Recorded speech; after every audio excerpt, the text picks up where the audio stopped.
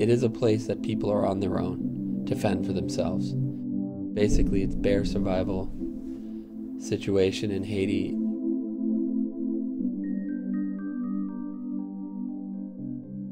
This picture was uh, Central Market was burning about two weeks into the, you know, after the earthquake happened.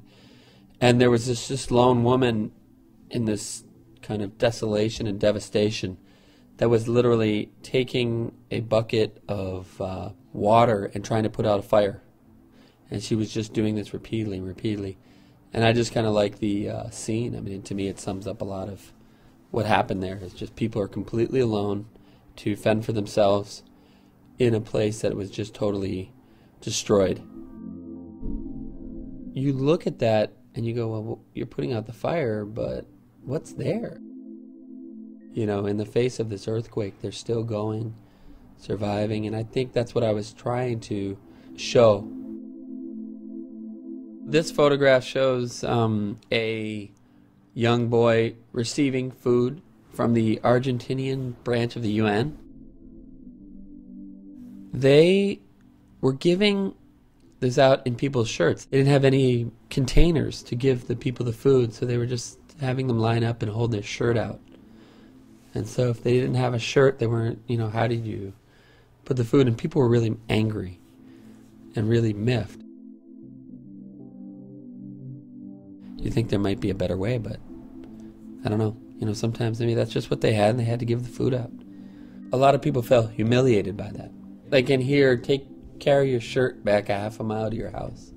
How do women do that? And it just becomes kind of not very well organized.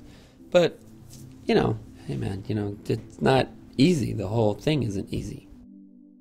It was like this kind of battle royale in some of these instances, and the police were totally outmanned and not professional at all. I mean, they had killed a number of people, just shot them dead. I think the Western media, at some level, came in and um, helped in a way to keep people from being killed because when we were there after a while, the police started to become cognizant that it wasn't a good idea to shoot people.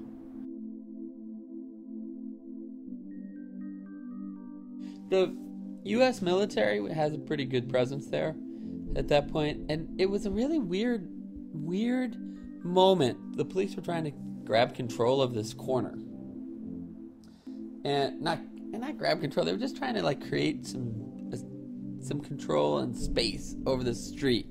And there was this crowd of kids there, and they were at the one moment they were kind of jeering and cheering all at the same time. It was a really interesting kind of moment.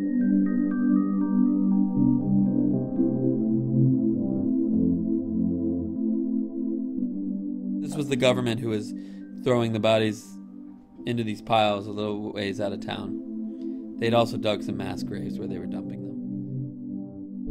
There were babies and pregnant people and um, bodies and you know men and everybody.